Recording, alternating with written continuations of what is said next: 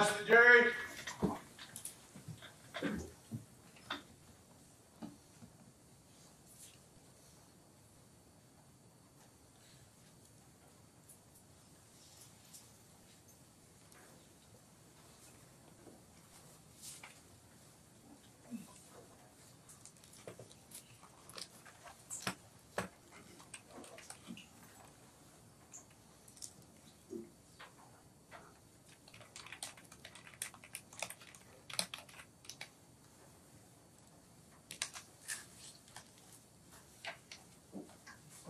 Just make sure your phones are silent.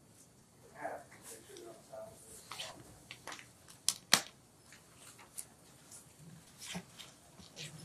All right, you may be seated. All right, good morning. Welcome to the Jefferson District Court. This is Division 102, and I'm Judge Stephanie Burke. Um, I'm first going to call the roll to make sure that we have the individuals that we believe we have on our panel. Um, if you will please just say here when I call your name, and I apologize in advance if I butcher your name.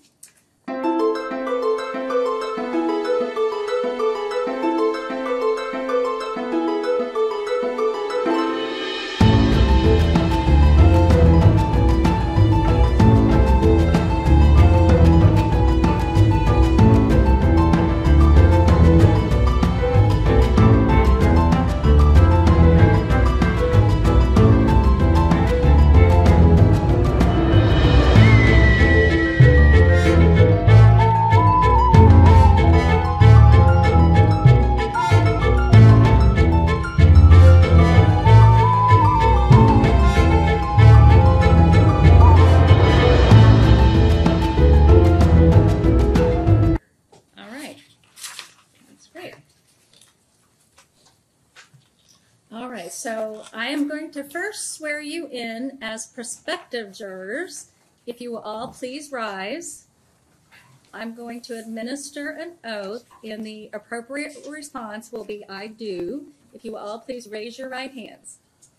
Do you swear or affirm that you will give the true and correct answers to all of the questions that will be asked by both the court and the attorneys uh, for the respective parties with regard to your qualifications as jurors in the case of the Commonwealth of Kentucky versus Jeffrey Edwards. All right, please be seated. All right, so I am going to ask you some preliminary questions today, and then I will turn over the questioning to the attorneys for the parties. And some of these questions may seem uh, somewhat um, simple, but they are very important. Uh, first, I'm going to have to ask Is everyone here a citizen of the United States? Is there anyone who is not? All right. Is there anyone that is not a resident of Jefferson County, Kentucky? All right. Is there any person on the panel who is not 18 years of age? And this case should be completed today. So is there any person uh, who's, who would be excused at some point today um, by the jury pool or who is asked to be excused at some point today? All right. Can you be excused? You asked the question, how can you be excused? Just a preliminary question. If you're sick or if you, is Well- what you mean by being excused? Well, if you've already been excused, have you already asked in advance to be excused for part of the day? Okay. So if anyone has not done that. All right. Does any member of the panel have any medical reason or other reason why you believe that you could not sit throughout the day um, as a juror on this panel? Now, uh, obviously, I will give breaks throughout the day. We will take breaks. There will be natural breaks in the proceedings. Um, if anyone has needs a break at any time, please raise your hand, um, and obviously the court will address you. Uh, so you have been summoned here today to serve as jurors in an action titled "The Commonwealth of Kentucky versus Jeffrey Edwards." Wherein the defendant has been charged with operating a motor vehicle under the influence of alcohol, first offense. and he has entered a plea of not guilty, and that has raised issues of fact to be determined by a jury. The questions that are going to be asked of you today are intended to not to ensure that Mr. Edwards receives a fair trial. They are not meant to embarrass anyone, and even though some of these questions may be sensitive or uncomfortable, it is very important that you answer fully and truthfully. It is important that he be treated by an impartial and fair jury, and so we need to assess your ability to be fair and impartial. So I will, um, like I have asked you questions. Each party is going to have the opportunity to ask you questions, and then I may ask you more questions at the end. One of the things that will happen is if there is a question that is asked of you that you do not want to share the answer with all of these strangers that you're sitting among, then you can ask to approach. And I will bring you up here, and the attorneys will come up here, and we can speak um, up here at the bench and outside the hearing of everyone else. Sometimes that happens. It happens in almost every single trial. So please just tell us if you would like to approach. All right, that's perfectly acceptable. And I'm going to now turn this over to the Commonwealth. Thank you. Good morning, everybody. Uh, By show of hands here, who here can be fair? Okay. Who here can tell the truth? That's a great start, but uh, that's not why we're here today, okay? I think most people can be fair, they can be honest.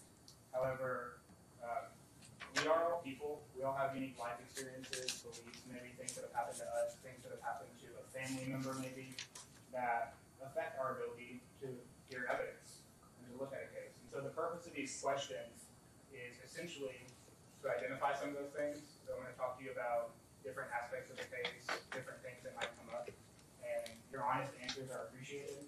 There's no wrong answers here, just honest answers. So uh, your participation and your honesty is greatly appreciated.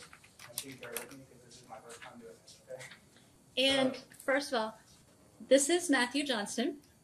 He is an assistant county attorney. So, Yes. is there anyone that knows Mr. Johnston personally? Mr. Johnston is um, assisted by attorney Jim Higgins, who is also an assistant county attorney. Is there anyone who knows Mr. Higgins? All right, you may proceed. Thank you. Um, So, to introduce myself and Mr. Higgins, we're both assistant county attorneys. Um, We work for Mike O'Connell's office, he's the elected county attorney. Some of you may have heard of Mr. O'Connell, he's a public figure, you may see his name or something like that. Does anybody here have any strong opinions about Mr. O'Connell, or maybe know him personally? That make your ability. Um, Also in the courtroom is Officer Michael Purcell, who works with LMPD. Uh, he's one of the witnesses on this case. Does anybody here know or have interaction with Officer Purcell? Uh, we do have one other witness. She's not in the courtroom right now, but her name is Officer Tina Payne. She is a corrections officer at Louisville anybody know Officer Payne?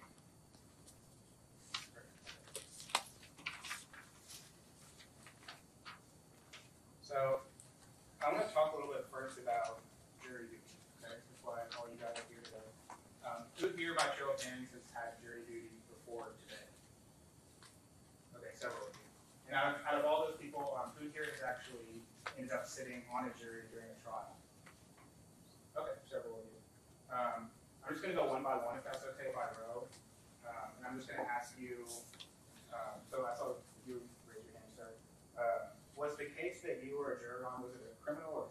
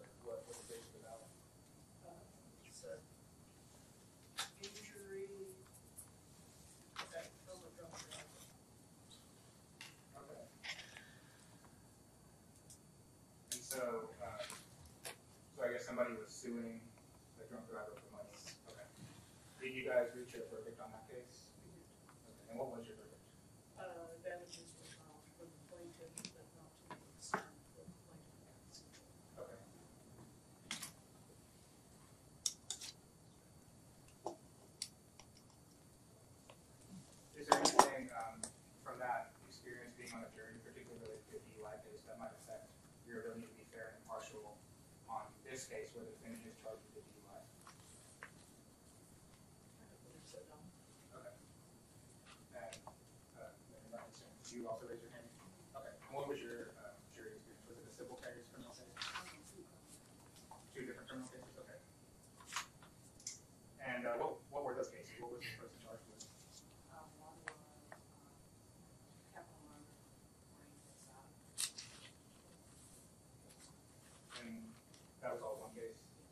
goals are.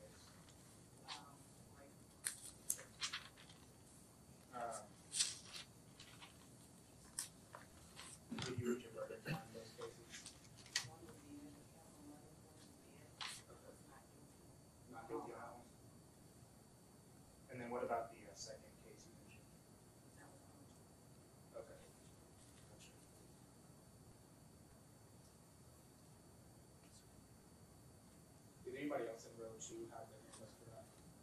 I just don't want to what about number three? You said they served on jury, a couple people. Uh, let's start with you, sir. Case related to a work vehicle accident for damages. Okay. Everyone was uh, one plaintiff, but not level. Do you remember like what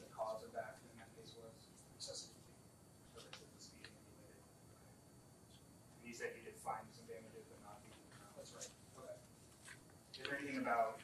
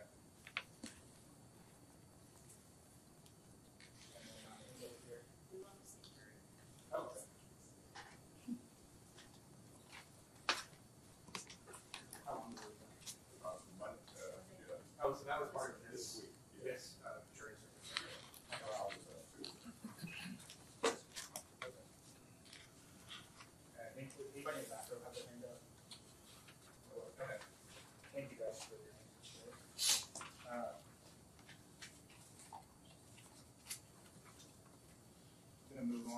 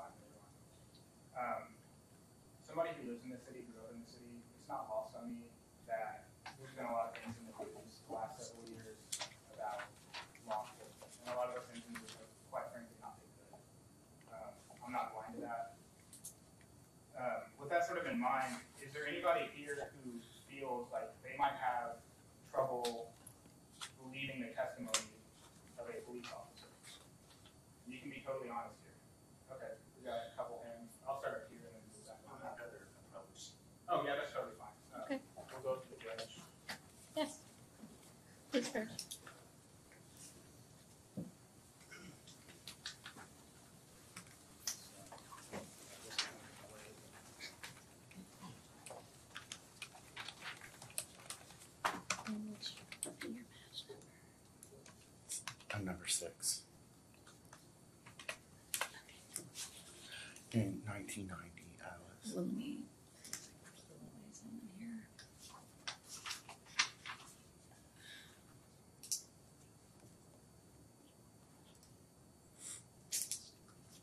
We have new, um, equipment here. And we don't have a noise button right now because this thing's broke. So we're just gonna have to. In 1990, I was pulled over by a police officer. I had moved from Indiana to Kentucky, and my license came up as being suspended, and it wasn't. It was on the weekend. I was taken to jail. I was strip searched three times. It was a traumatic experience. And We can hear. Is it the Oh, okay. Yeah, it seems Yeah, like it there's could a have come through the microphone. JAVS system. Um, they have their talk amongst themselves.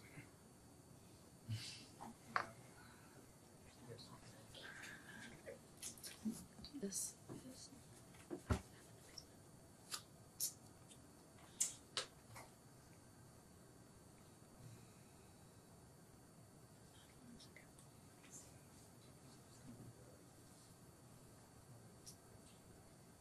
I was just thinking if we-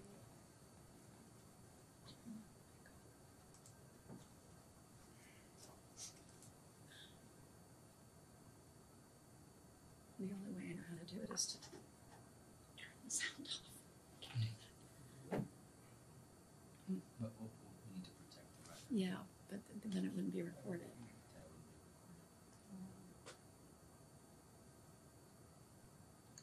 Well, it sounds like everyone's already heard. So the, the bad parts about it. So it really doesn't matter now.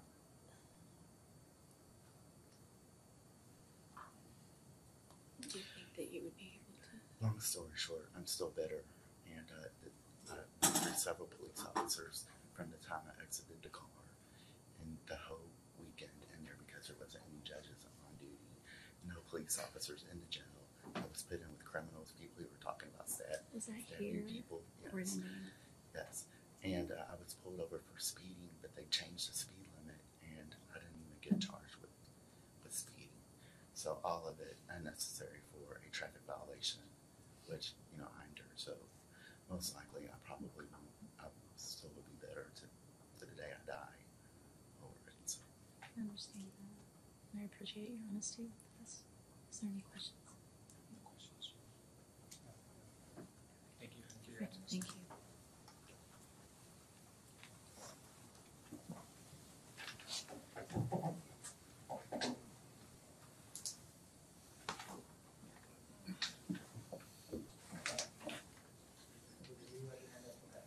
Um, do you wanna share, or do you?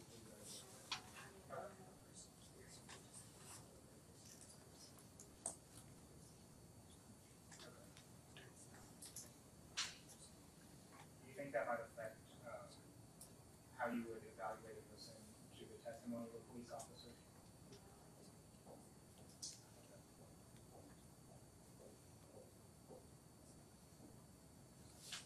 Did anybody else have a thought or? I just have a question. You stated the word believe, which sounds like an inherent trust, but I thought as a jury we were supposed to go over facts and hear witnesses, of course, uh, testimony, it doesn't necessarily imply believe, at least my understanding of the words, but it just could expand on that word definition a little. Yeah, so, so really what I'm asking is, so obviously police officers are people, there's some good officers, there's bad officers out there. Um, I'm certainly not saying you should believe everything that comes from a police officer simply because they're a police officer. But at the same time, I also wanna know from you guys, if maybe because of something that either happened to you, or maybe something that you heard about, a friend or family member, or just something in the news even, that would affect your ability to trust this officer. But again, you're stating the word trust, like we should trust anybody that speaks. Um, I guess for me, it would be fairly listening to their side of the story would maybe be, maybe what you're asking. Yeah, that- that's a fair way to put it. Uh, Would you have trouble Fairly listening, and fair listening? Okay.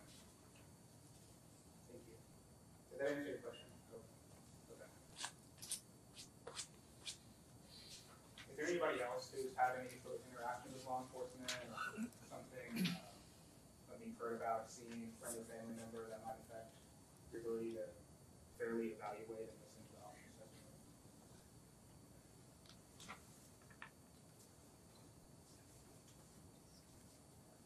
the move on.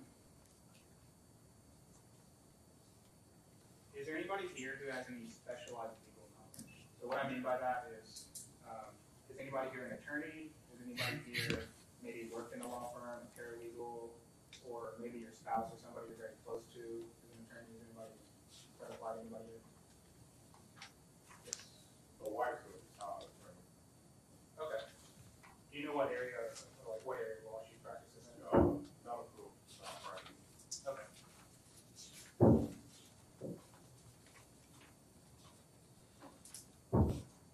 Would anything about your wife's employment affect your ability to sit as a juror on this criminal case? Okay. Thank you. Anybody else? So I want to get into sort of more of the specifics of this case. As the, as the judge stated earlier, this is a DUI case. Defendant Mr. Edwards is charged with DUI. Uh, As we'll get into later in the trial, there's essentially just two elements to the DUI. The first element is operation or physical control of a motor vehicle. I think we all have a fair idea of what that means. I'm not gonna spend a whole of talking about that. But the second element is impairment. So I, I want to start, does anybody here have an idea of what impairment means? Mr. Wick, um, I saw your hand first, so I'll go there. Ability to operate? Or inability, okay. Okay. Does anybody agree, disagree, want to expand on it? To operate safely. To okay, so not just operate, but operate in a way that doesn't endanger themselves or people, okay. Anybody have other thoughts of just what impairment means? Is impairment different from intoxication? Anybody have a thought on that? I see several nods. Does anybody wanna, maybe somebody hasn't talked yet, somebody, uh, uh, back row. uh, let's say, um, I work in aviation, so feeling the effect of alcohol, you know, you're, you may not be intoxicated or drunk per se, but it's like you're still feeling that like a buzz, like buzz or, or whatnot, or hungover.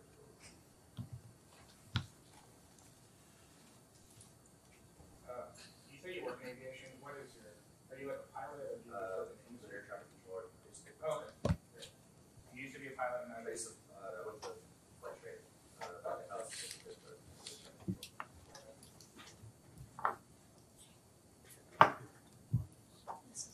Uh, how do we know if somebody's impaired? Does anybody have ideas of ways we might be able to tell somebody's impaired? There were physical tests that we given, and there are cognitive tests that we given. This was also chemical tests that we given as well. Okay. Can you expand on that a little bit? Like, what do you mean by physical test?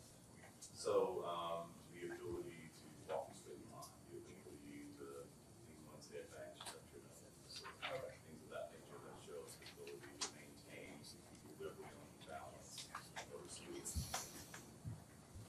You mean you said chemical test, what, what would that be? breathalyzer, Okay. test the, uh,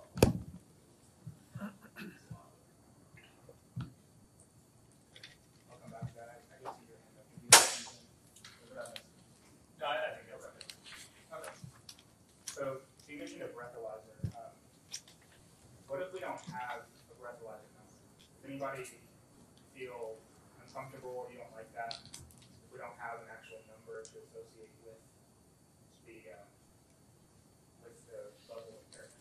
Does that raise concerns? I've never been in any of these situations, so I really don't know, you know, exactly what's going on, so, uh, as far as impartial, uh, drunk, or you could have one drink and then drive a car and then be hit, and then you be considered intoxicated by using a breathalyzer or something like that, so I guess it depends on who arrest you or who convict you, so. Does anybody agree with that or have thoughts related to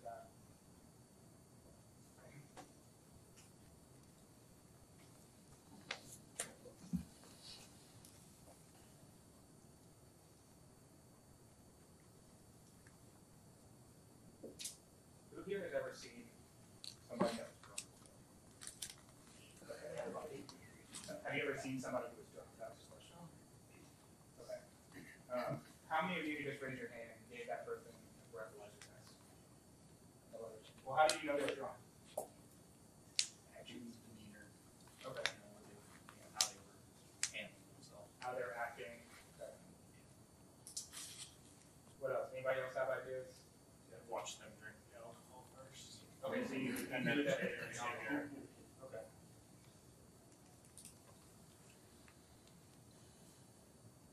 Anybody else have ideas? That's good.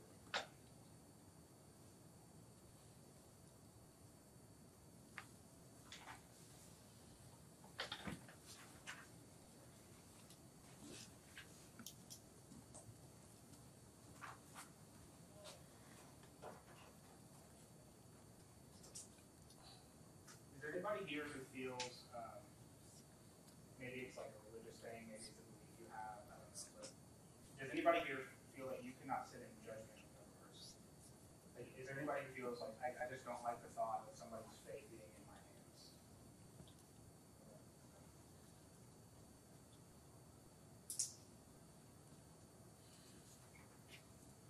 Um, Back on to the, uh, the subject of DUI. uh, I want to talk about your all's experiences with DUI. I know somebody said they have been involved in a civil case involving a DUI.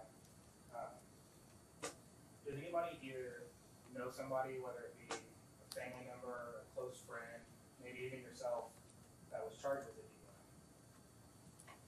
Okay, several people. Uh, I'm gonna go real by real again, so I'll start with you. Who, uh, who was it that you knew? Um, Who that? When, when did that happen? Is it eight years ago? Okay, so it's been a while. Uh, What were you feeling about that? Do you feel that, do you feel he was treated fairly, or what were your thoughts? To the extent you, you know, you understood what was going on? yeah, he should. Okay. You think he was treated fairly? I don't know the actual cases. I mean, I wouldn't do. Okay. Thanks. Uh, you're- Yeah, we can.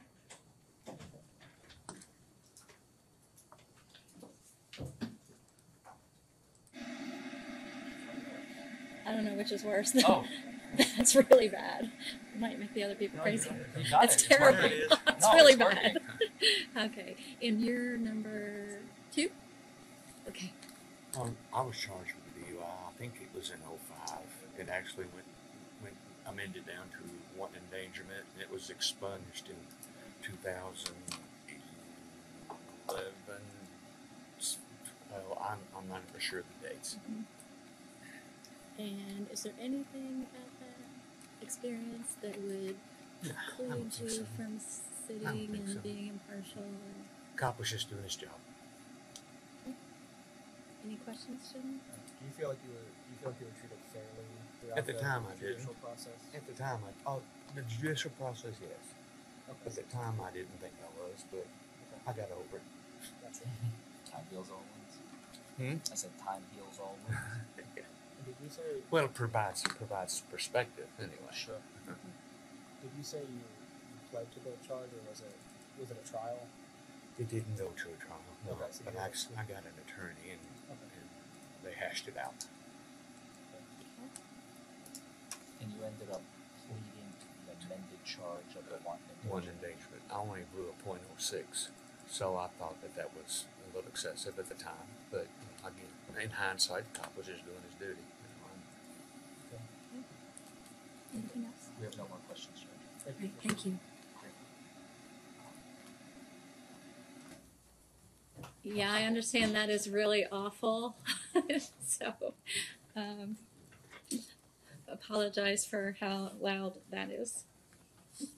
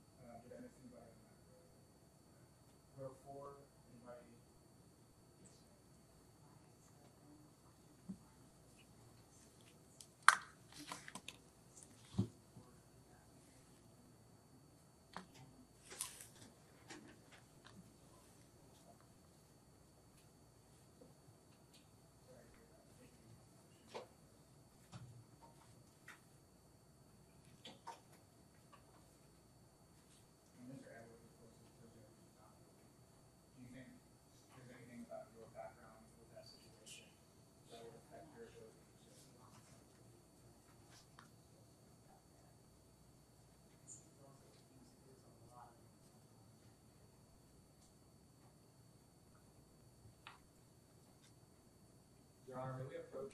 Mm-hmm.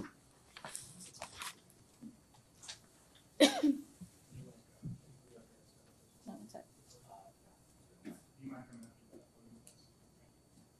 I couldn't hear. Come someone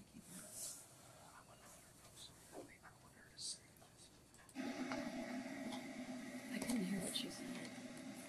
Sorry. I couldn't hear what she said. Is- is it- No, No, no, no, to the contrary. I, we wanna make your life easier. So this is a, um, operating motor vehicle under the influence case, and Mr. Edwards has been charged with that, that is the sole charge. Based on your past experiences, it is my personal opinion, not even as an attorney, just as a human being, I don't think this would be the right case for you. I don't either. Yeah. Well, I didn't hear what your response was. My first husband is a drunk. I have his name, address, and social security number, and we'd be glad to give it to that officer because he still drinks and drives to this day, I guarantee it. He used to be on drugs, he's an alcoholic, he's abusive, and he used to drive my kid around after we split up with that it completely intoxicated. I guarantee he still does it. But my kid's an adult now. But I try to put this aside. But it, re- recent things have come up where I'm thinking about. Even though I've been married to him for mm-hmm. 20 years, mm-hmm. A lot of things have come back. Like Mhm. somebody I know at work got something happened to her from her husband, Mhm. and it just triggered things. And this has been recent where I'm starting to get memories back that I have like let go. Traumatic. But honestly, this is probably not the case for me. Is there, um, I guess, when you're hearing the evidence in this case, would you, would you Frank, would you discredit something? Well, let me rephrase that. Do you think anything that happened to you, as far as your situation with your husband and all the past experiences you've shared with us, does that affect how much you believe the evidence in this case? I don't know. I don't know how to answer that. If you say there's not a breathalyzer, I think there probably should have been one. But on the other hand, I mean, how many times have I seen him act after just like one drink, act like a totally different person? So it's just my own personal experience with somebody that does drink on a daily basis. So In that experience, based on that experience, do you think you can be fair and impartial to another individual? I mean, I can try. Do you think you can be though? Because it's one thing to be able to be able to try. I'm not sure, honestly. Would you have difficulty with that? do I you think that I would have difficulty even probably even hearing about it to tell you the truth. Just based on a lot of things happened back then. Can I see your badge, please? Thank you. Thank you. Do I just go back? Yeah. Thank you. Thank you. Oh, Thank you. I honestly, I just want to release her so that she doesn't have to sit here for the rest of the evening. What dear? I We, would- remember it we would move to I strike her for she cross. She's number 19, I believe, Your Honor. Okay. No, Um, 19 No, is- 19, 19. I'm sorry. I'm sorry. 16. 16.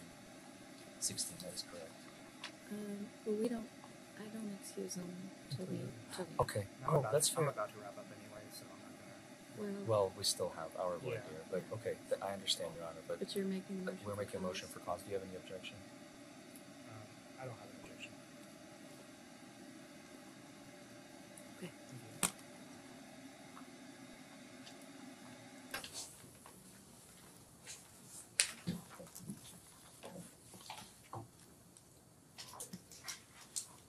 Um, It goes on row four. Did anybody else have their hand up on that row? And in the back row, anybody? Just a couple, I'll start with you, sir.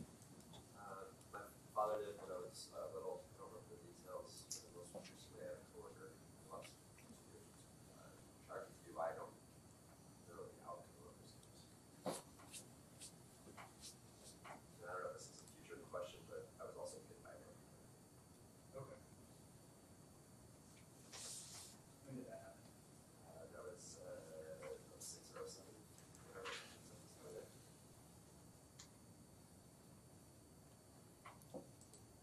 Did you have any injuries or anything from the collision? A little banged up, nothing significant. Okay. And was the person being charged? I guess I believe they were charged. They were convicted, I don't. Do you know anything about those experiences, whether it be with your father, a coworker you knew, or even the collision you were in? That affect your ability to listen to evidence in this case and weigh it fairly? I don't think it's place. Anything that was, you said? Yes.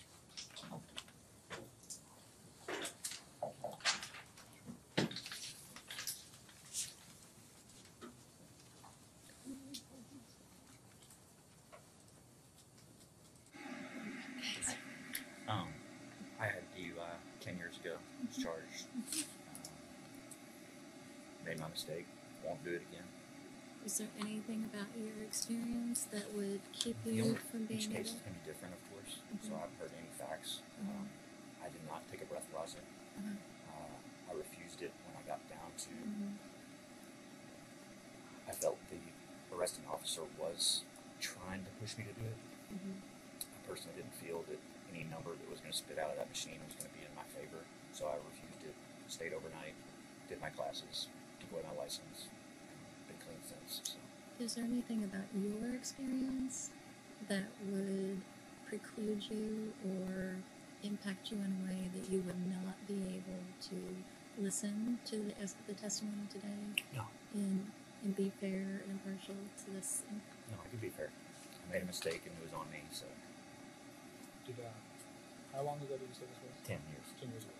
And did you uh, did this go to trial or did you no. do some kind of plea deal? No, I just figured out. Okay. I took away my license for 30 days and had to go to fine classes. Okay. Any questions? Yeah. Thank you. Thank you. Thank you.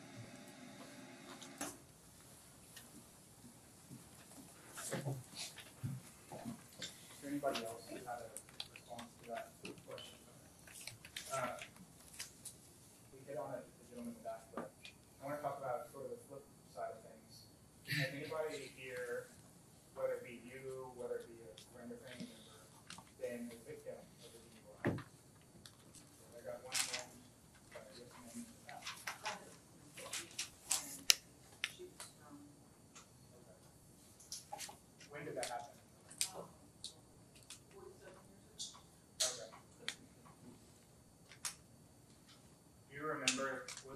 Arrested or charged? No. No, okay. Did you feel like they should have been? Oh, yeah. And I even had witnesses. I had two programs that saw the whole thing. No. Is, is there anything about that experience that would affect your ability to listen to the evidence in this case fairly and impartially? I was only twenty years old, full-time student. She totaled my car. When the city, she stopped the back up and I mean, I was in a horrible financial hole. So you don't think you can listen to our evidence in this case and You be know, I fair? also don't think we should drive. Well, Mr. Edwards is presumed not guilty, right? Okay. We're gonna present evidence. Uh, And, and you're telling us you don't think you could listen to that evidence fairly because of what happened to you? Okay. Thank you, thank you for your honesty. Is there anybody else who knows somebody, friend, family member, yourself, who is involved with DUI in any capacity? I'm sorry, Matt. Can, can we approach? Yeah, uh, ma'am, do you mind coming up to the front?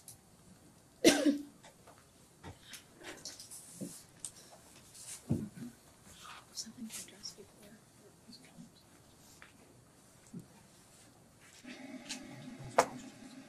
without her, Judge? No, afterwards. Oh, okay.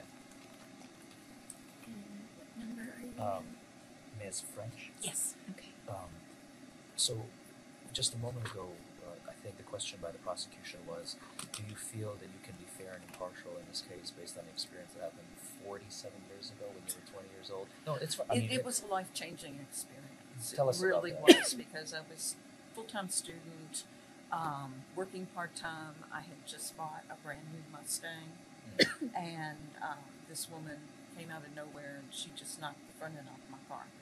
Um, and there was a car in another direction with two park rangers in it, and they watched the whole thing. And they got out and they were, you know, right in front of everything, and they they there was no doubt she was drunk she was hardly standing up.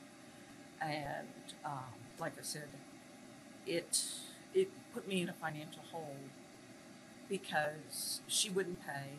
She wasn't arrested. Does she have insurance? No, she had no insurance.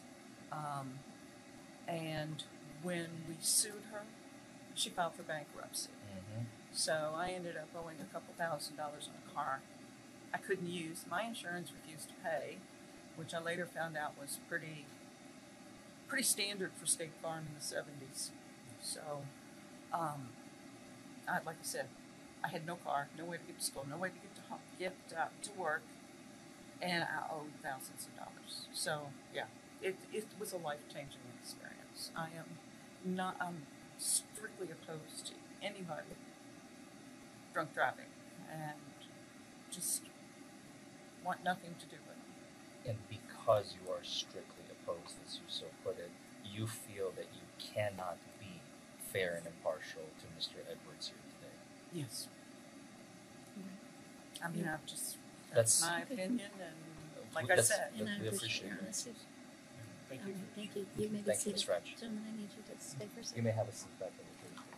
Can you tell the last gentleman that was up here, can you tell, was he number twenty-four? Twenty-three, I believe. No, no, those are. He was. Yeah, those are Let me double check. The man was twenty-four, she was I'm sorry, she's twenty-three. Yes, Trevor Gish is number twenty-four, Your Honor. I didn't think his badge number matched his. Okay, we need to check his, for some reason, the, what I saw was his badge number wasn't the same as what's on the sheet, but.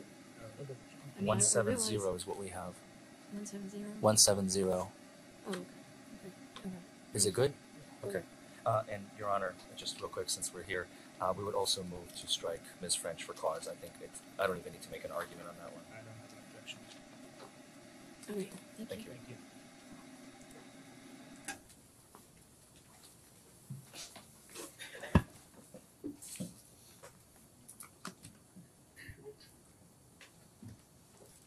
I'm not sure if anybody has another uh, question. Uh, Is there anything on anybody's mind that they feel like they should share with me that might affect their ability to hear this case? Something that I didn't bring up that you've been thinking about, wondering if I was gonna ask, if anybody's had anything? Yes. Just want to say I've never been in that situation with drunken driver or DUIs or anything like that. I've never had experience or anything like that. So I don't know whether I'll be fair or partial or anything like that. I've never been in this situation before. So I don't know whether I'll be fair or not. So I just want to say I've never been in that situation.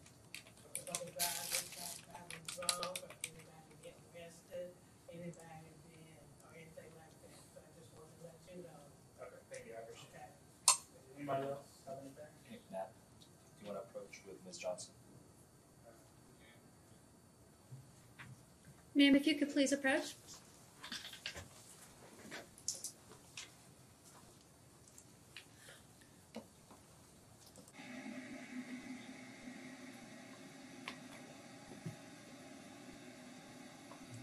How are you doing, Ms. Johnson? Good. Good. Listen, um, you're not in trouble, I promise. We just wanted to ask you some more questions based on the answers that you've just provided. Sure, sure. So, um, is it uh, of your concern? I'm just trying to fill out your answers because you're saying you have no experience with drunk drivers. You've never been in any type of, you know, altercation, let alone DUIs or anything like that. you've seen people intoxicated and what they look like. I imagine in your life, or not even that. You've never even seen an, into- an inebriated individual in your entire life. No. Okay. Um, this is an operating a motor vehicle under the influence allegation in this Okay. case against Mr. Edwards, who is our Okay. client. Okay. Do you feel that based on your lack of experience and having no knowledge of what an intoxicated person may even look like or act like since you've never seen one before Okay. in your life, do you think you can be, uh, if you're seated on this jury, do you feel like you can be fair and impartial to Mr. Edwards? No, I don't because I've never had that experience before. So I don't know how the the the how you courts can represent or anything like that or anything like that. I just don't feel like I don't have enough knowledge with what you're looking for. You know, drunken drivers or driving under the influence or anything like that. So I don't think I would be fair as far as deciding whether he's guilty or innocent or anything like that. So I just don't feel that I would be You don't feel like this is the case for you, basically. correct. Correct. All right, you may have a seat. Okay, thank you. Thank you, Ms. Johnson. Mhm. We would move to strike for cause. I would object to a for cause strike just because I, I don't think she, she's expressing that she doesn't have knowledge of impairment, but that's things that we presented at the trial. I, I don't I don't know if she's misunderstanding the question, but I don't think she's she's not saying I will weigh the evidence in favor of one side or the other. She's just saying I don't know anything about. She just said I can't be fair and impartial. I have some concern. I mean, I can just say it appears to me that she is trying very hard to get excused. Yeah. Maybe. Because she immediately started saying, How do you get excused? When? That was the first, when we first started. Oh. How do you get excused? Um, Oh. And I noted that at the very beginning, and I just think she's trying very hard to get excused. Now, you can She doesn't know the trick. They just don't show up. Yeah, and in saying you've never seen somebody. I I've don't. never seen anybody murdered, at least I can't be on a murder jury. I mean, Right, I don't. okay, Well, I- and I find it hard to believe I- that. I have seen people who live under rocks who literally have n- like s- they're religious. They're surrounded by their family day in and day out, and they never get a chance to go out into the real world. Mm-hmm. But yes, I, now that you mention it, I I will. Uh, uh, those are her initial comments. When that was her initial statements, I noted those Oh, I at the missed that. very beginning. Today in- and then in this room. everything yes, Hmm. yes.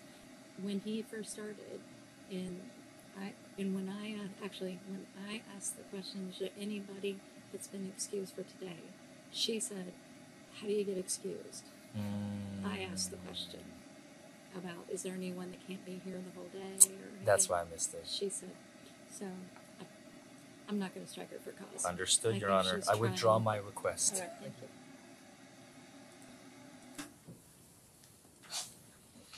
Is there anybody else who had comments or anything else they wanted to talk about? Okay, I want to thank you guys again for your honest responses. Uh, I really appreciate it. Um, the defense counsel has some questions for you as well. Thanks. All right, for the defense, Mr. Hitch. May it please the court and opposing counsel, my name is Tyler Hitch. How are you all doing? All right. Uh, this is my client Jeffrey Edwards, and this is my co-counsel, Mr. Larry Forman. Um, you heard Mr. Johnson say this is his first time before a jury. This is not my first time. This is my favorite part. I love it because it's the only chance guys get to talk, only chance you kind of get to raise your hand or move. Otherwise, you're locked up over there. Um, First thing, little pop culture in Louisville. How many of you saw that Second Street Bridge on that debacle? Hands up. At least give me hands up. You don't always have to say things, but just uh, the semi truck over the edge. How many of you knew anyone involved in it? Like a police officer was there on the scene? How about an EMS worker? How about one of the tow truck drivers kind of pulling the truck back out? Anybody? Okay. How many live in Louisville their whole life? Oh, okay. How about over 10 years? The majority of their life? Or a big part? All right, all right. Not much. There's some people. Um, how about, how many of you are familiar with the Preston Highway area? Kind of South Louisville. Uh, uh, yeah, how would you describe that kind of road for people who haven't driven on before? Somewhat, uh, congested at times. congested. Who else had a hand up? And by the way, there's so many of you. Usually you're smaller, and I can say everyone's name, but I'm assuming pointing at me. So, how about you? Have you been on Preston Highway before? Uh, tell me, tell me more about the road. Congested. What else?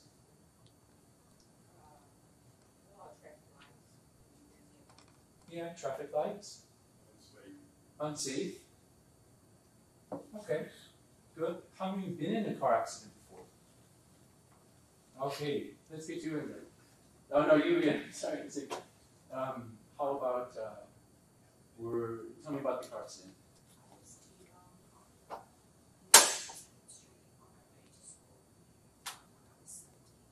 Okay. How about you behind you? And the guy in front of us, brake taking my pops, my pops was flying in the back. Good, checking fine the back. Okay. Um, who else raised for car accident? Yeah. Um, car accident, we were T-boned in Cincinnati after dropping our daughter off at college. Somebody ran her red lane. Okay. How about uh, anybody else? Yeah. What's you? Yeah, I was in a car accident probably about six years ago. Um, someone came into my lane and hit me head on. Okay, so you're very familiar with car accidents. How many have been in a bad car accident? Like one where you uh, are almost like knocked out, get some kind of concussion or something like that. Yeah, tell me. Or can you remember it? You, you know, tell me as much as you can remember. Um, I was a pedestrian on the highway. A Waiting for. AAA. Oh my gosh. And um, a car hit the car I was skating in, and that car hit me, and I went over the That's too intense for our case. wow, my gosh. Okay, I'm glad you're in good shape. That's awesome. How about, how about you, sir? Uh, it was about eight years ago, someone ran through a median and on Bardstown Road. Talking on their phone, wasn't, didn't bother to stop on the median between the two sets of roads. Yeah. So she could not T-bone her. Yeah, yeah. And it was airbags deployed and it was, she was, she, I was okay, but she was, she was messed up a little bit, her car tumbled, so it was pretty bad on her part, not as bad for me, but it was thanks to the airbags. Yeah. How can we get a sign hands? Is the car accident worse for you if the airbag deploys or if it doesn't? And it's, it's a little gray area, but Even with the seatbelts, it's still probably saving from more severe damage. Right. Seatbelts, airbags, okay. Um, you mentioned the phone. All right. I know there are officers in here. I'll even raise my hand. Uh, it is a humbling moment, but how many of you have kind of checked your phone while you're driving? Okay, you're smiling. I love it. Thank you for being honest. No, it's a little bit embarrassing. It's a little bit bad. Nobody likes it, but how, how many can kind of, what if we do, what something where you close your eyes and only I can see? How many of you have uh, either kind of talked on the phone or texted on the phone while you were driving? Okay, so you're you're awesome in every regard. Let me see hands up for other people. And I know it's something that it, we have a lot of things in our in our life that we know we're not supposed to do and we don't want to do, and we kind of do it a little bit. Um, how many would say we live in a driving culture where people are distracted while driving?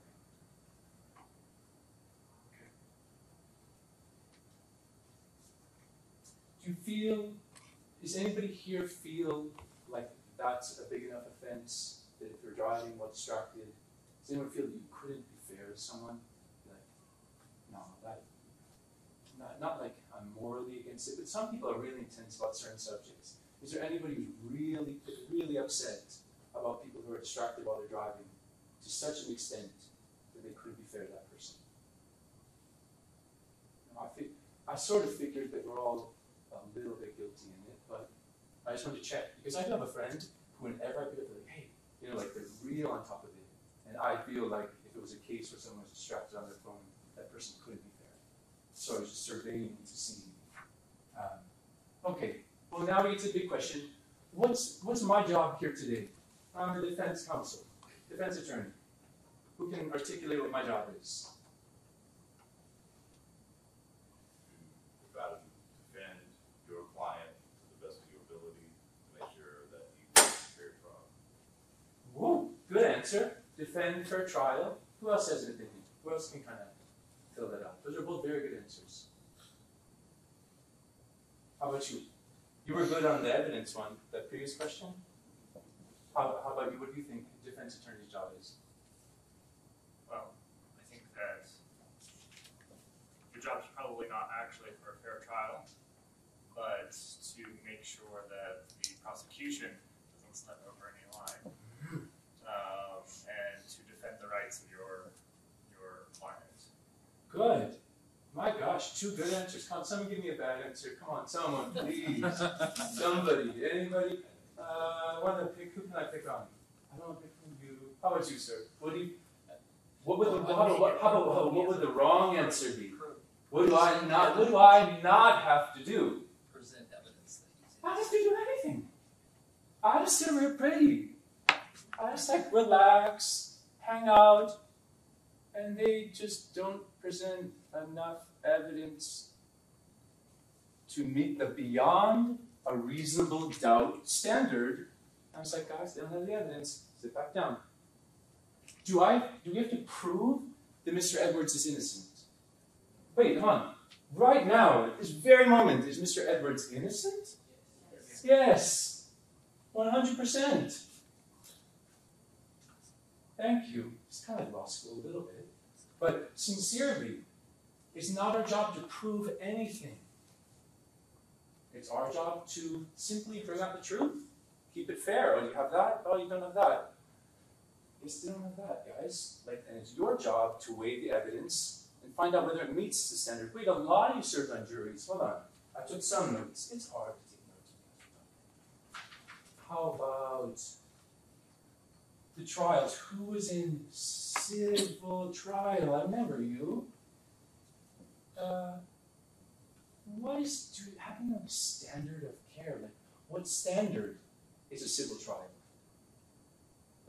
It's a, it's a really hard question. It's almost a lawyer question, actually. It's not the, not the beyond a reasonable doubt, it's preponderance. Let's say beyond a reasonable doubt is like here, the highest law of the land.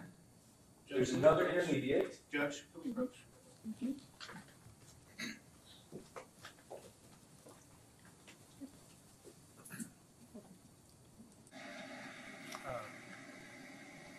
object to him defining or putting a scale. I don't know what the demonstration he's about to do, but I would object to him trying to define what level reasonable doubt is. I understand it's above You, preponderance. you can't really.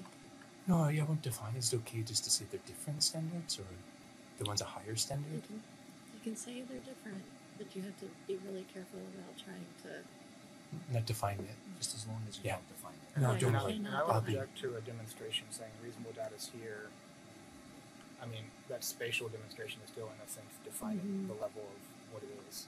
I think I'm fine with him saying it's a higher standard, but that would be. And just Okay. talk about the lower Just talk standards. about Just talk about there are lower standards. Okay. It's higher, but I, I don't think Just you be can do a demonstration right Okay. here. Okay, thank you. Thank you, Your Honor. Okay.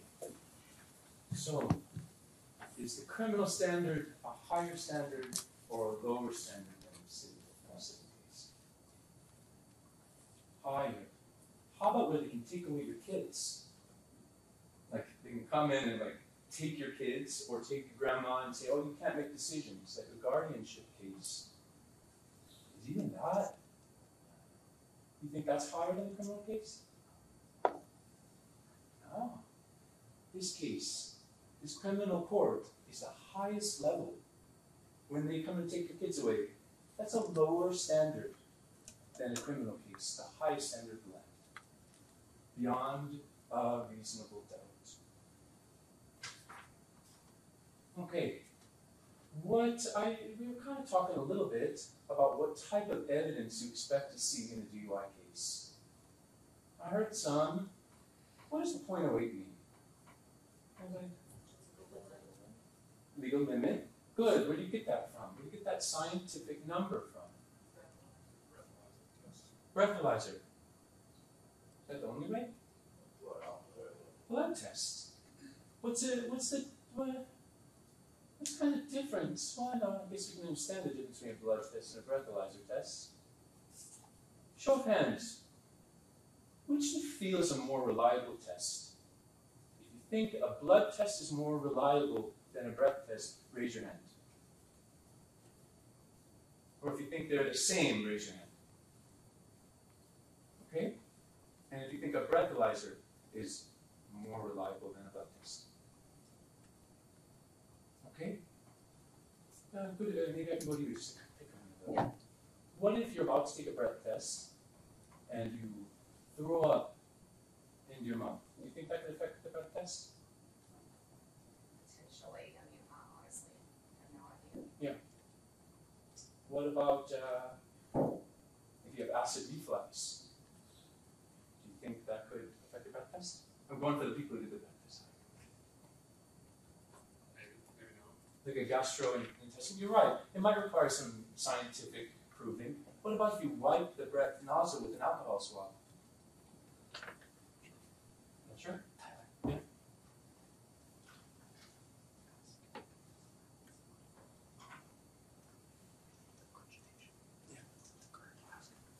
In this, in this maths? Yeah. Um, What about, uh, what if you have diabetes or gastro, they call it GERD, gastroesophageal re- reflux disease? How do you think that would affect the breath? Might make it higher, right? But do you think these digestive conditions or these, what about like mouthwash? Forgive me. Who's seen the YouTube videos where they have sushi and, you know, okay, cool. Yeah. Nah. Do you think, uh. Forman's got expert rare, you know, he's funny or something. But do you think uh, these aspects would affect the blood test? No. It's because she's a nurse, that's why I pointed her out. Oh, cool. They did the research. See, I kind of fly the line a little bit. That's why I was Foreman. Yeah. Is there not a delay with the blood test? There is a delay. You're right.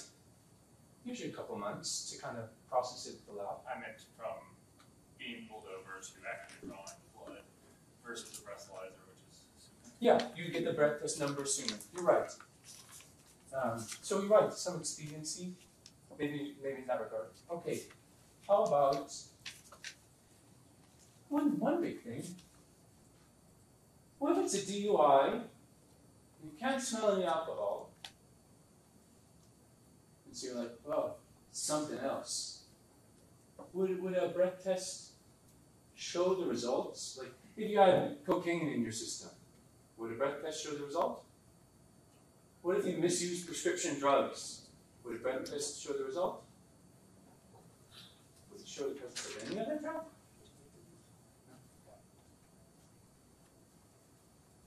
And then how about when it comes to how our bodies metabolize alcohol?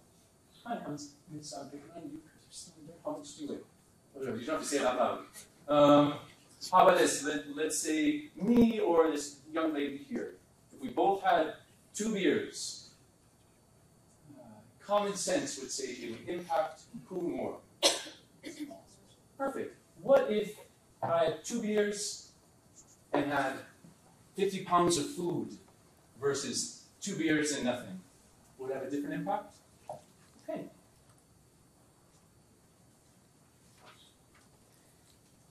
These are all these are all things that are going to be discussed here, so it's kind of a good sense to kind of uh, see if everyone's kind of following these these subjects a little bit. Um, why do you feel that video evidence is important in the case? Who can kind of volunteer something for that? Yeah. Can't deny video evidence. Great. Who else? Yeah. Right. Leaves room for I mean, maybe some, like, why were you upset? I, can tell you upset. Oh, why? Something. Yeah, who else? Anybody seen any of those hot mic things? Like hot mic, like, there's a big deal. You know, like that type of thing, or like, like where somebody's caught kind of saying something on the mic that might, they didn't quite know was being recorded. How many of you think that the police are here to serve and to, no, no. Uh, I'm trying to think of the right way to say, it. you guys have talked about a lot of these subjects already. Uh, what are some of the, the good things that police officers do other than arresting people? Yeah. Right, they put their life on the line, just even to check in on something. What else? What are some, I mean, how about the cat from the tree comment? Kind of going there. What are some positive to serve and protect? What's the serving part? Wellness checks. Wellness checks. What else? How about you? Patrols and deterrence and criminal. Controls and deterrence, and what if a, a lady falls down on the ground? She's bleeding. What would a police officer do? Often the first responders are able to render aid. How about first responder? Right? So you'd all agree a police officer has a duty to be the first responder if someone's injured. And if they can't handle it or they're busy with something else, who, who do they have a duty to call? Yes, right. They often come at the same time. They're, they're almost two parts of the same part. How do you think police officers should make fun of the people they arrest? Now, how about how about kind of mock them? Do you think they, do you think they have a duty to be professional and cordial?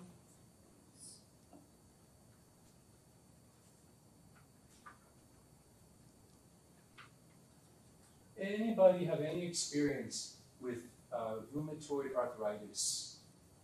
Anybody have a family member? Yeah, tell me, tell me about it. Or can you can you educate everyone a little bit about what, what it is and what it's about? Pain every day. Is it personally or a family member? Or a Both, friend? Yeah. Okay. I broke my uh, left hand quite a bit as a child, and I suffer from arthritis a. Um, Pain every day. Um, so that's in your hand. How about anybody else? Anybody know kind of scientifically what rheumatoid arthritis is? Or maybe that? Yeah. It's an inflammation of the joints that eats away the, the buffers, the cartilage between the bones, so you, you're grinding bone. Chronic bone and bone inflamed cartilage. Right. It's an, an uh, immune, an inflammatory response. It starts attacking the cartilage between the bones. Um, and I think I've asked this already, but how many have had a major concussion before? Or, you know, not even concussion. I used to run cross country, after a race, I was like How, how many have passed out before, or fainted, or had a concussion? Okay, tell me, sir. Yeah, tell me about your experience if it's not too personal. No, just last Sunday. And what caused it, I don't know. I got up from the dinner table at the restaurant, went to the restroom, threw up, passed out on the floor, came to, cleaned up. Wow. So passed out, threw up, came to. Have you been drinking? Nope. Okay. Oh, who else? Yeah. Uh, no, you haven't heard from you. Yeah, yeah, yeah. Um, had a heat stroke. in Heat stroke. When I was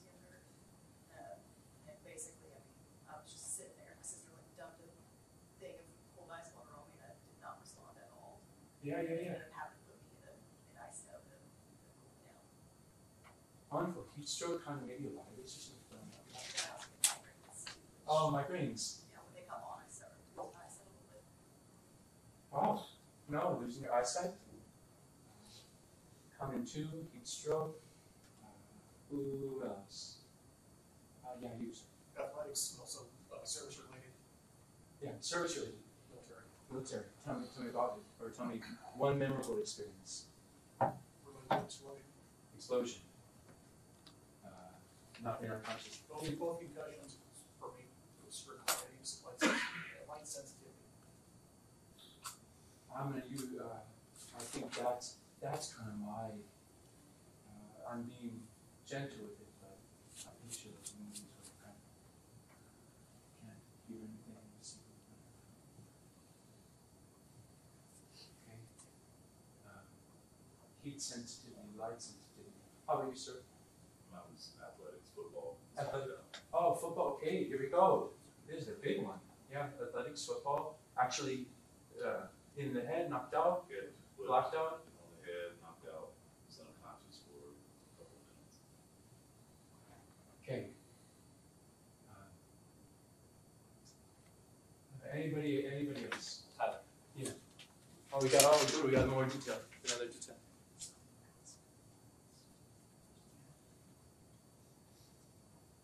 Yeah, yeah, no, okay, that's fine, just we have numbers. Um, what do the, what do a concussion, what symptoms of a concussion are similar to a symptom of intoxication?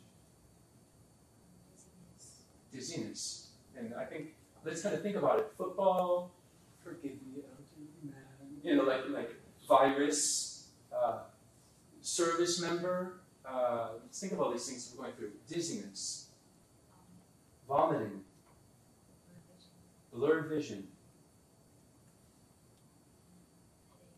headache,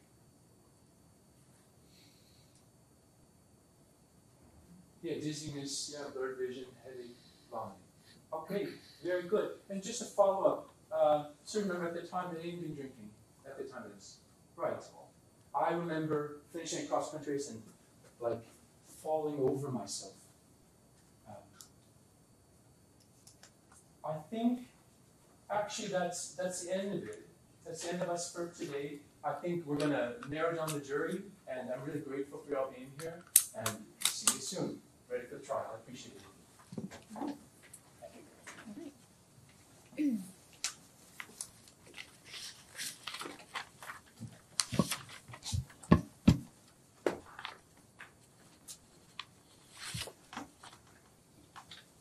Is there anything else?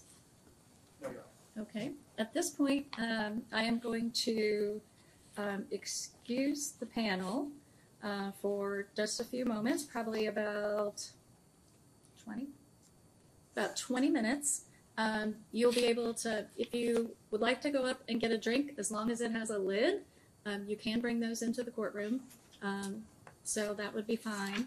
Uh, but you'll need to line up right back outside the courtroom at about five minutes till, and then we'll bring you back in. This will be why the attorneys make their selection. Please note that at this point in time, no evidence has been presented to you. You are not to form any opinions about this case because no, you don't know anything about it at this point other than what the charge is. So if anyone tries to approach you, um, about this case, you must report that to the deputies. Um, and if you see these gentlemen out in the hallway and they don't speak to you, or uh, please note that they're not permitted to. So it's not that they're being rude or if they are avoiding you, um, but they are not permitted to do that. So they are not allowed to have contact with you outside the courtroom. So uh, at this time, you will be excused. Folks, just remember where you're sitting, because when you come back in, you'll sit in the same exact spot. All rise for the jury. Your vending machines on the first floor, and the snack bar on the second floor will be in.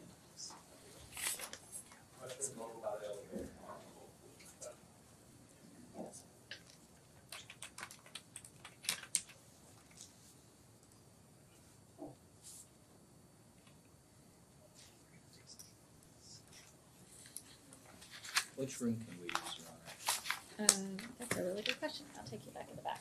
And we'll find one. Samina?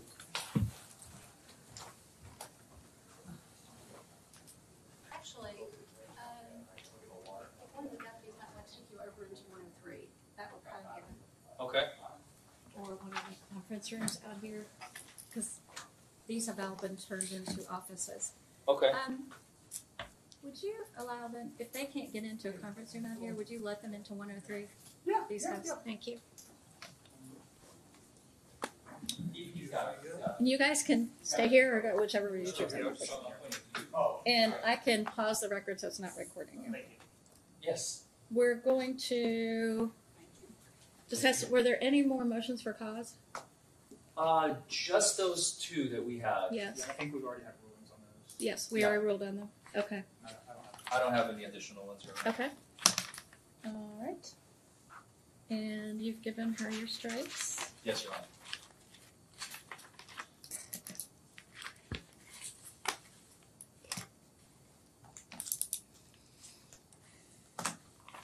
The seven will be chosen at random, I imagine. Yeah.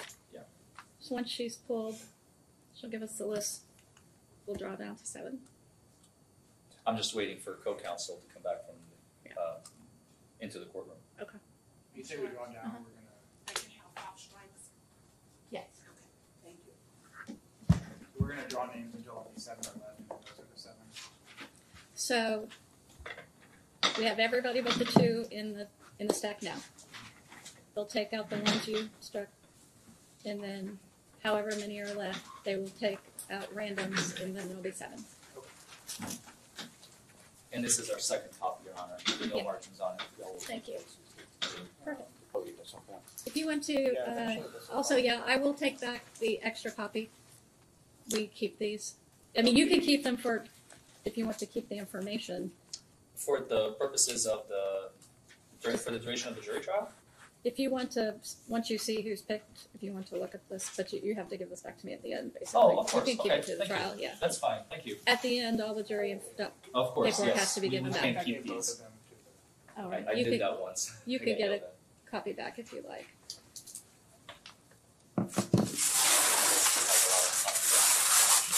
There's two extra questions.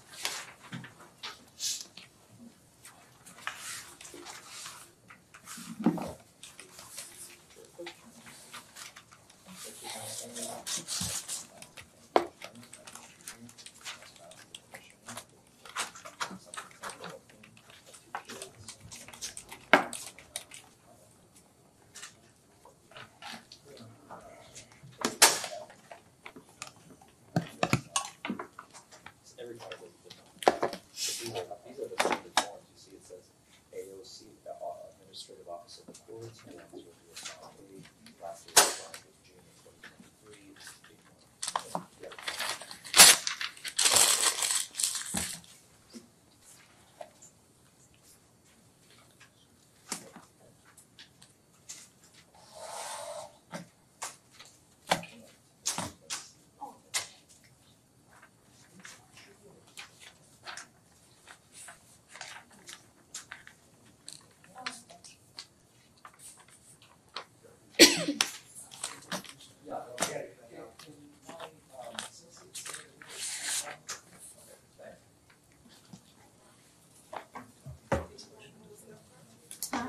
Yeah.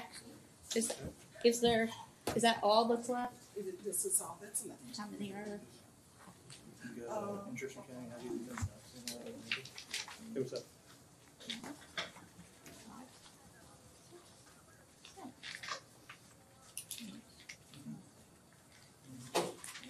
It would make our lives a whole lot easier when we have our final six.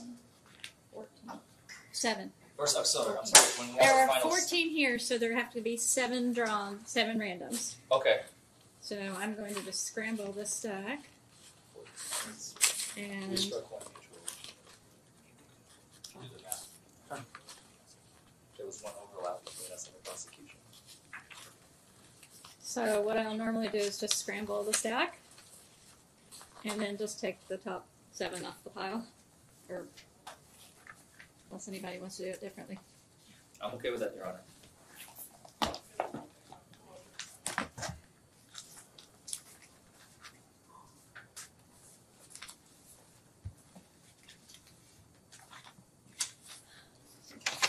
One, two,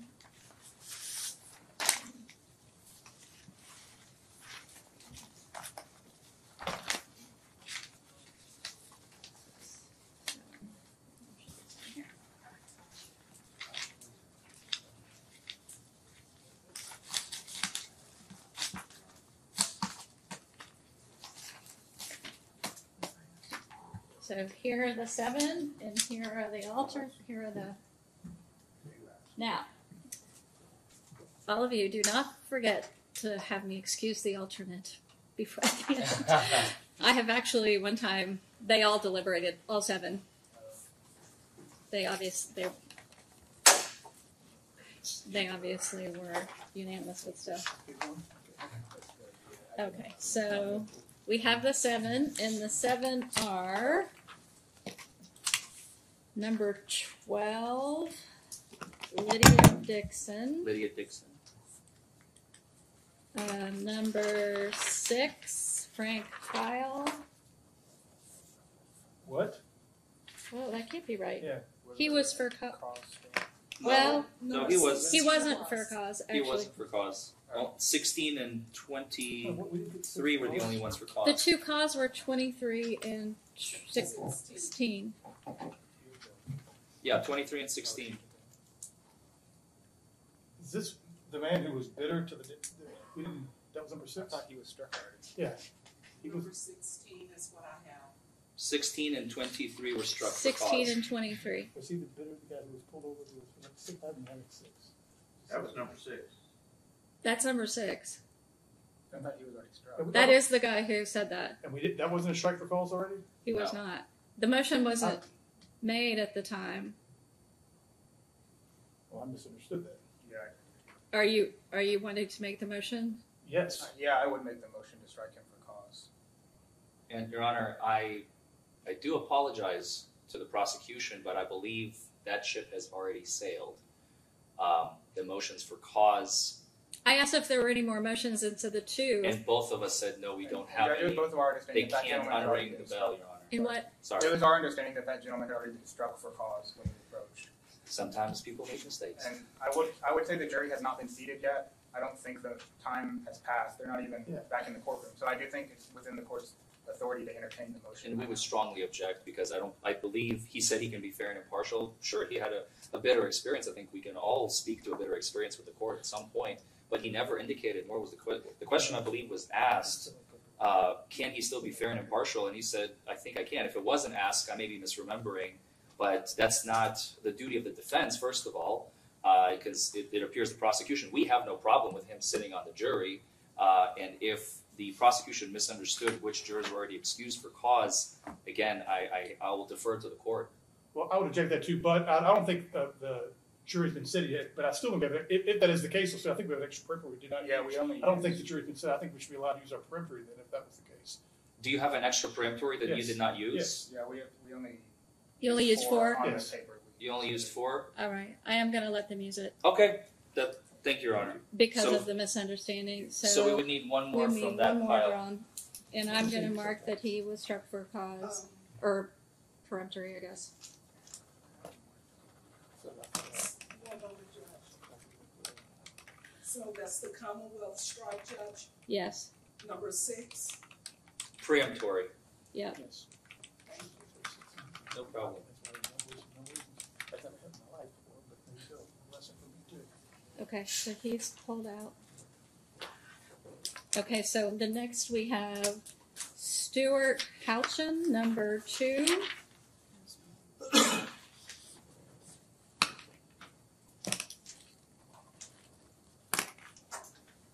Number thirteen, Robert Berry.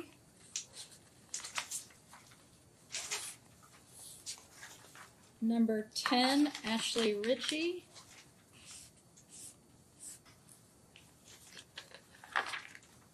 in Trevor Gish, 24.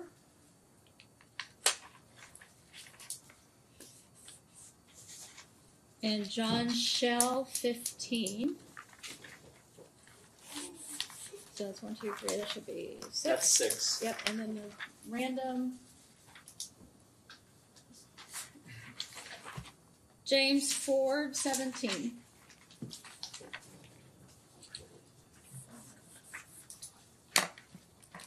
So they are 2, 10, 12, 13, 15, 17, 24.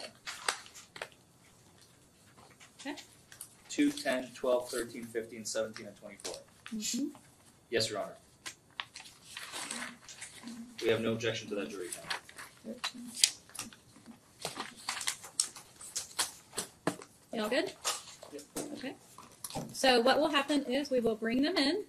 I will call out their names, ex- not have them come up until I've excused everyone else, then have them come forward, and then you all can turn your tables around while that's happening.